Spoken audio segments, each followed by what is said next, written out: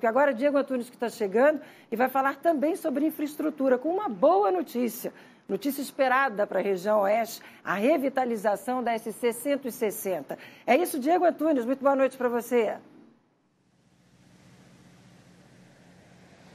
Olá, boa noite a você, Márcia, a todos que nos acompanham. Pois é, pelo menos, né, não existe uma data definida, mas o mês para a assinatura da ordem de serviço será o mês de novembro. A confirmação veio através da Secretaria de Infraestrutura do Estado e do próprio governador Jorginho Melo sobre a revitalização dessa SC 160. São apenas 24 quilômetros, mas uma demora homérica para fazer a reforma já de outros governos, né? E é uma rodovia muito importante, são 24 quilômetros ligando Pinhalzinho a Bom Jesus do Oeste, verdadeiras crateras que acabam impedindo, inclusive atrapalhando é, o escoamento da produção, o turismo de maneira geral.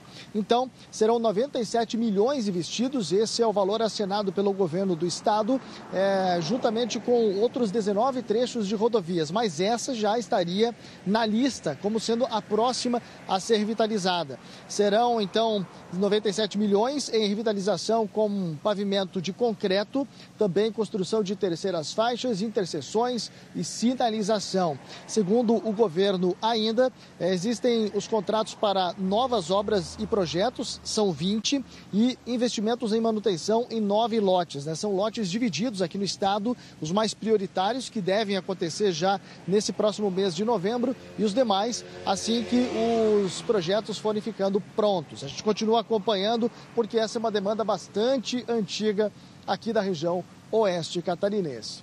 Diego Antunes de Chapecó, para o ND Notícias. Obrigada, Diego Antunes. Obrigada pelas informações.